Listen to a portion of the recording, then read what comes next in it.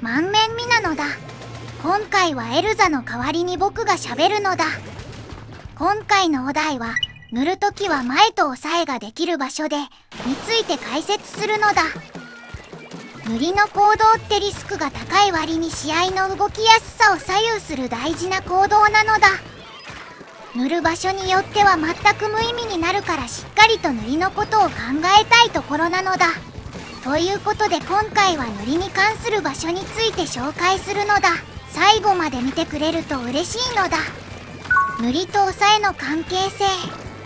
まず塗りと押さえの関係について考えていくのだ。押さえというと対面のゴリ押しによる押さえつけが強い印象なのだ。敵陣でボコボコ百0したいのだ。でもそれは圧倒的に対面が勝てている時しかできないから安定しない抑えなのだ。他のゲームなら頑張ってエイムを磨けという部分なのだ。でもスプラにおいてはノリという圧があるからこれを利用すると抑えをすることが可能となるのだ。雨火とかやってみるとわかるけど中央を取られた瞬間絶望的なのだ。しかもインクのどこに隠れているかわからないし壁裏攻撃が難しいから動きづらくなるのだ。この動けない時間も一つの抑えと言ってもいいのだ。でもこの中央が全然塗られてない状態だと塗られていた時よりも敵の特定がしやすく索敵が楽なのだ。こうやって塗りと足場の状況を比較すると塗りも抑えの一つというのがよくわかるのだ。じゃあ塗りが抑えの手助けになることが分かったと思うので次に行くのだ。塗りの強み。まずは塗ることの強みを紹介していくのだ。その1足場の安定。前衛後衛にかかわらず大事な要素なのだ。塗りのある足場はとても安心なのだ。プラノデスは足場のスリップダメージや回復阻害による耐久値の減少が厳民なことが多いのだ。でも足場が整っていれば異界道による逃げやすさも確保できるしダメージを受けても回復しながら逃げれるのだ。足場の安定だけで生存が大きく変わる部分だから塗り範囲が広いだけで対面が有利になるのだ。その2敵の侵入防止と索敵。塗りをしていると敵のインクがよく見えるので塗り方から索敵や裏取りのタイミングが分かりやすくなるのだ。色味の激しいゲームだからまだら模様に敵と自分のインクが混ざっているよりも見つけやすくなるのだ。だいたい裏取りの原因はこういった微妙なインクの塗り残しが原因だから塗り大事さがわかるのだ。足場を整えればスペシャルもたまるし裏取り防止もできるし一石二鳥なのだ。その3攻撃範囲の縮小。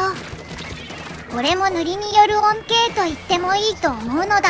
足場が悪いところからは攻撃がしづらいのだ。だから射程と足場の関係で考えてみると攻撃範囲の縮小というのも恩恵として受けれるのだ。足場が取れていればその場所からで視野攻撃できないから結構ありがたい恩恵なのだ。塗りの強みとしてはこんな感じなのだ。足場塗りによる圧って大きいのだ。塗る場所は前で。塗りの強さは伝わった思うけどそもそも塗る時の場所も大事なのだ。塗る場所によっては無意味になるから注意なのだ。まず塗りする時はなるべく前に出て敵のインクが届かないように意識するのだ。例えば中央を挟んでお互いに塗りをした場合はこんな感じでお互いに塗り合意をするのだ。この状態だとインクダダ漏れなのにエリアが全く取れなくて苦しいのだ。これを防ぐには相手のインクを届かせないことが重要になるのだ。だから前に出て相手を退かせるのだ。しかも前に出ると味方に合わせて足場の塗りも前に上がるのだ。こうやって見るだけでも足場の範囲が広いのだ。こうなってしまうと相手は容易に攻めてこれないのだ。解決策として前に出るという行動をとったけど前に出ることに成功すればかなり有利になるのだ。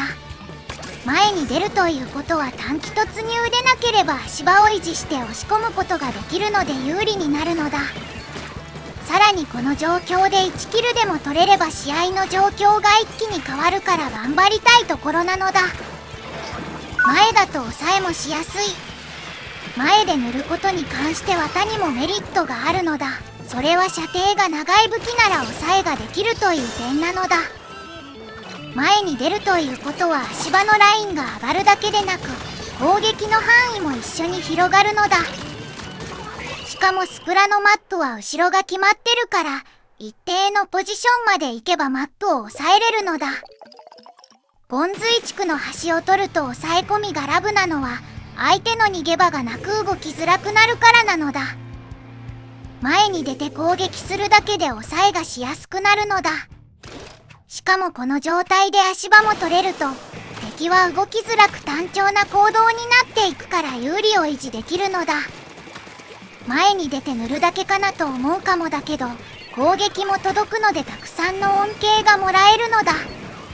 でもこの時に自分の周りの塗りができていないと足元を救われやすくなるから注意は必要なのだ。最低限の塗りは必要ということなのだ。攻撃7割塗り3割くらいで頑張るのだ。前に出て抑えるだけでなく足場もしっかり奪って相手をどん底に突き落としていくのだ。前に出るメリットはあるが最後に前に出るメリットばかりではなく注意もしておくのだ。前に出て塗りをするのはかなり危険なのだ。前に出るということはそれだけ対面も多くなるし足場の維持やインク管理が難しいのだ。インクが切れた瞬間うわーハーとなるのだ。キルを取り続ければこんな心配はしなくてもいいんだけどそれは無理なのだ。だからこそ前に出る際はその場所に近づいてくる相手をしっかりさばくことは意識するのだ。その場所からどこを攻撃できるのか考えるだけで抑えが楽になるし来る場所もわかるのだ。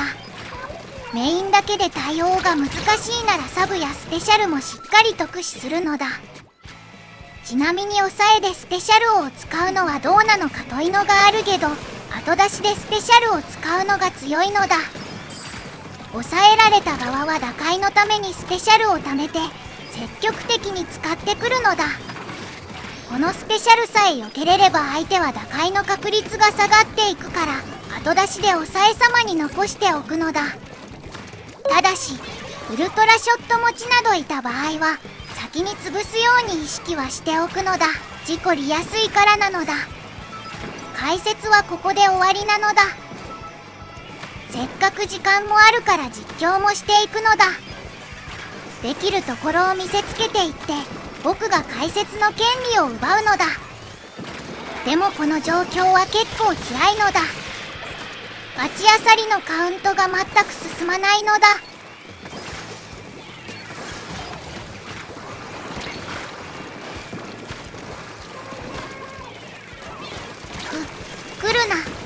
は。今度はしっかりとぶち抜いてやるのだ。覚悟するのだ。とりあえずアサリを集めてチャンスを作るのだ。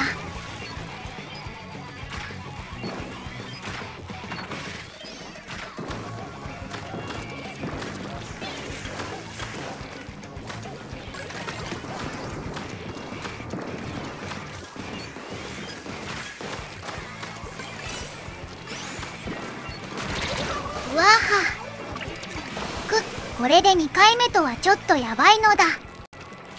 でも高いところからしっかりと塗っていくのだ。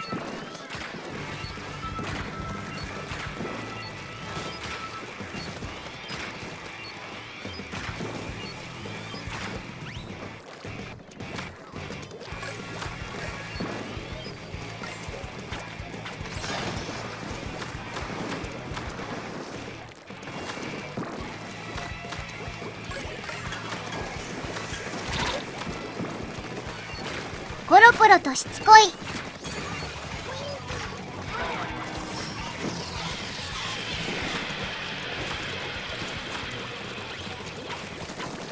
これはチャンスなのだ。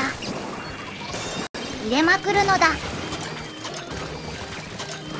そして早めに逃げてもう一回攻めるのだ。とりあえずキル優先で攻めていくのだ。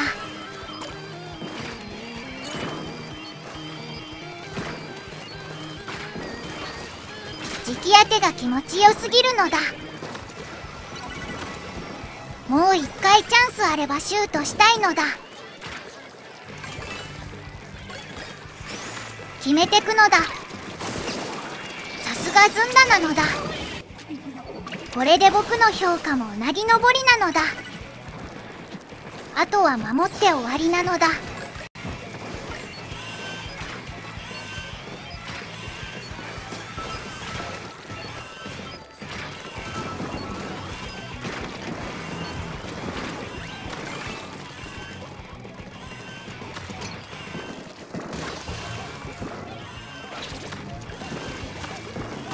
味方ナイスすぎるのだ。ということでご視聴ありがとうなのだ。まだまだスプラの動画やその他のゲームも随時投稿してくので応援してくれる方はチャンネル登録と高評価をお願いなのだ。それではまた会う日まで。バイバイなのだ。